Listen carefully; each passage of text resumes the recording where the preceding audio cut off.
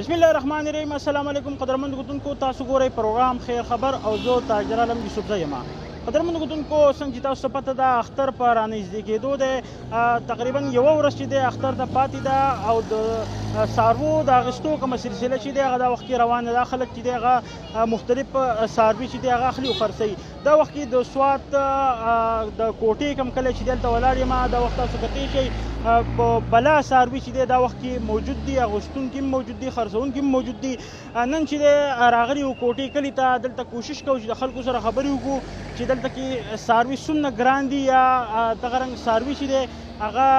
څومره خلک خلکو دلته راویستي او خرڅوي دا وخت کې زما سره یو ملګری موجود دی دلته کې مظفر شاه صاحب مظفر شاه صاحب سره خبرې کوو چې څه دو ساروی واغستو او کوای نه غستو ساروی څومره ګران دي السلام علیکم وعلیکم السلام زبرشاه بای څنګه حال دی ساروی مو واغستو کنه مننه تاسو در راغلی او ساروی له خو ساروی چې کم دینو ډیر زیات ګران دي او کم ساروی چې پروس کال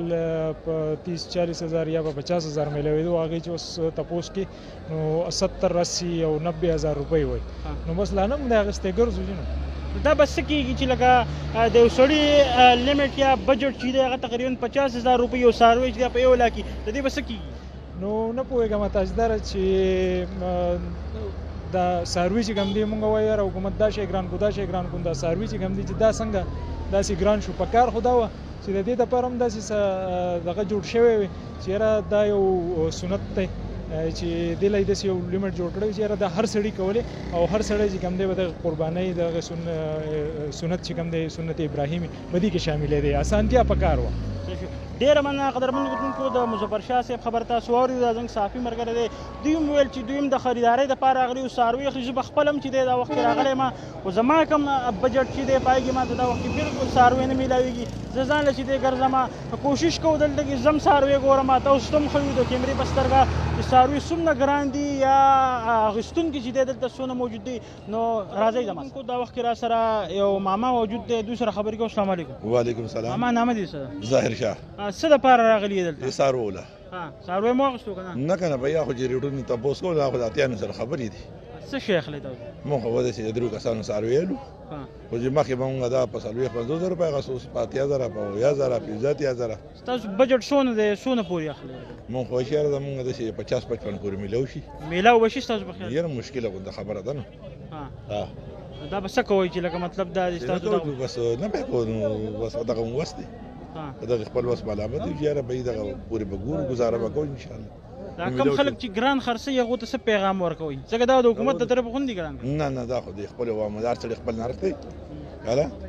رونه ته ریکوېسټ کوو چې گزاره کوي چې هر سړی وکړي نو خو زمونږ څه ویل نشو نه به زور دا راوستي شو ډیره مننه قدرمن کتونکو تاسو کتل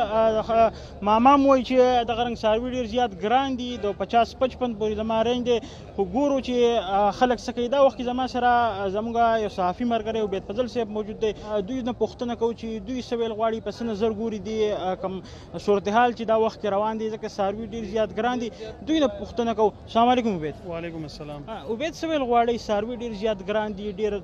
نور کلنۍ په رنګ دا وخت کې ساروي ګران دي مخکې یو شان ریټونو څه کال صورتحال ډېر بدل دی نو په څه نظر ګورئ دي یاره تاجدار مونږ دلته راغلو مونږ په میله کې د خریدارو سره خبرې وشوې دلته کم خرڅون کې دي دا غي سره زمو خبرې وشوې نو خرڅون کې خدا وایي چې یاره موږ ټول کال په سارو باندې مهنت کړی دی او بیا دغه رنګ چې کم کل چوکر د دې چې کم خوراک خوراک سيزونه دي هغه په ریټونو کې چې دی هغه زیاتوالی راغلی دی مهنګایۍ سره دغه سیزونو ریټونه هم چې دی هغه ختي دي نو زمونږ خو دغه سیزني او دغه غټ اختر د پاره چې کم ساروي مونږ راولو هغه مونږ خرڅو نو په هغې زمونږ خرچه ډېره زیاته راغلي تیر کال ځکه وي هغه وینا دار چې ځکه ارزانو چې تیر کال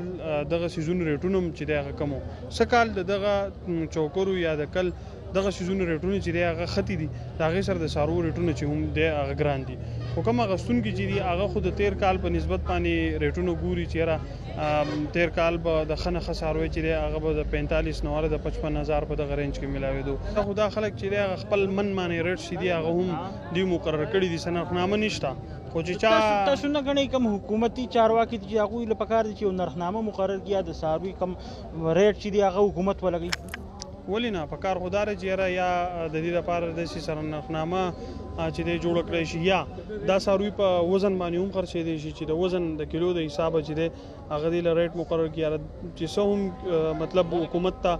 په مناسب ښکاري د عوامو لپاره ځکه چې یوازې خرڅونکي چې دی هغه په دې کې نه دي حکومت لم په کار دي چې یاره په دغه خرڅونکو باندې نظر وساتي او کوم غستونکي خلک چې دی هغه ته دغه ریټونه چې دی هغه ارزان شي ځکه چې ریټونه ګراني نو زیات تر خلک چې هغه قرباني دغه نه چې هغه محروم کیږي او هغه به بیا د زیاتو ریټونو لکه بل چې هغه قرباني نشي کولای بالکل